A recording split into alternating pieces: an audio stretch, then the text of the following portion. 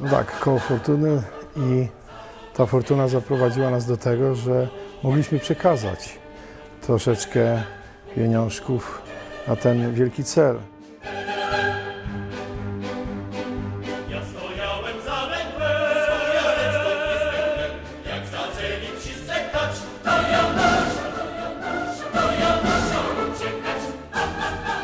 Fundacja wspaniale rozwija się, jak słyszymy, i my chcemy ją wspomagać zawsze, kiedy będzie tylko to możliwe.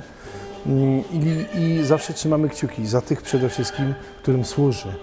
A nigdy nie wiadomo, jak to w życiu jest, więc y, trzeba powiedzieć, że to jest nasza sprawa wszystkich. I tych, którzy w tej chwili no, są w tej trudnej sytuacji chorobowej, ale i tych, którzy są zdrowi. My powinniśmy o tym wszystkim pamiętać. Dlatego dziękujemy za ten niezwykły Wasz dar, a naszym darem jest piękno Mazowsza, piękno występów Mazowsza i takie akcje chcemy dalej kontynuować. Serdecznie pozdrawiamy.